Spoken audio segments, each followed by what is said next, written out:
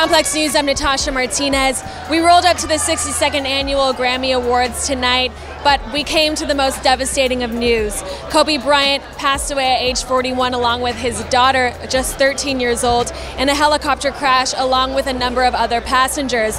The only way to make sense of this is to honor his life and legacy here on the carpet. Uh, we're also honoring Nipsey Hussle with a tribute later on at the award show. So, that being said, we chopped it up with a few artists, talked about the Grammys this year, as well as those two legends.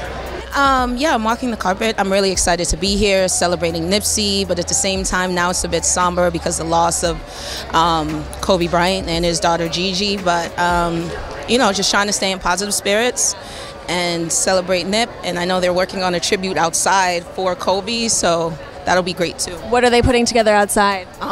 It's a whole bunch of flowers and things happening right now. So I'm assuming it's just the community coming together, and I just can't go. I can't wait to go outside, back outside. I know, girl, and I'm fighting back tears too talking about this. Obviously, this has changed the entire uh, dynamic of the carpet. But let's talk about Nipsey and just you know the impact that he's left on you, what he has taught you in your career and your life, and what you hope that the tribute does for him tonight. Um, I'm at a place where it's just like at times you feel like you want to give up, and Nipsey is that driving force to continue to keep going. And I'm just excited that you know the world is getting to understand um, what he was trying to do, and and it's just his legacy is continuing to keep that alive. Now, I don't want to put you through too many emotions, but can you also talk about Kobe and how he's touched your life? Um, the last time I actually got to work with him was for the Trayvon Martin campaign with Nipsey as well, and they did a walk in at Crenshaw High School they talked in the back, and he understood the importance of his community, and it was just great to see both of them together. This is unfortunately like a big loss for our community. He was a goat. I just want to send my condolences out to his wife, his the rest of his kids. I'm sorry that happened to his daughter. Even her, her teammates and who they else was on the plane. I'm just it's just terrible. It's terrible.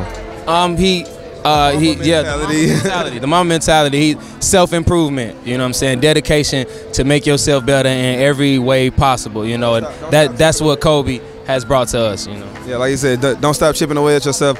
Don't stop sharpening. Just keep doing it. Keep doing it. Even if you're not where you see yourself yet, just keep doing it. That's all the more reason. And the fact that he never stopped, and the fact that he was so dedicated to being such a great person, that's, that's gonna carry with me for forever. Another LA legend we're honoring tonight, Nipsey Hussle, with the tribute. Um, what do you guys hope to see from that performance and how it embodies the legacy that Nipsey has left behind? Oh, I mean, love. That's what we want to see. We want to see love in here right now, especially what you said, what's going on with it.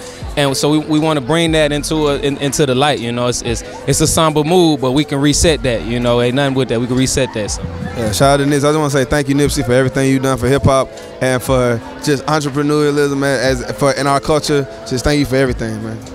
Man, Nipsey was my homie. Uh, I've known Nipsey for a long time, and he always showed me love. That's one thing about Nipsey. He was never, he never acted different. He wasn't fake.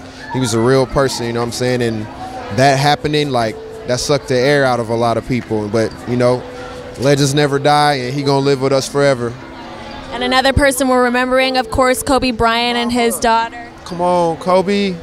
Yes. Mamba mentality, like I told them down there before, that's one of the things that got me here. Like strive, go harder, harder every time, and it's gonna get you where you want to go. And that's why we're here.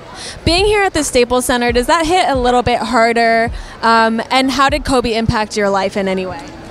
Um, you know that it don't matter where you at, man. That that hurts. Kobe Bryant is Kobe Bryant. You know, you know he's a he a black superhero, man. That's the only way to describe him.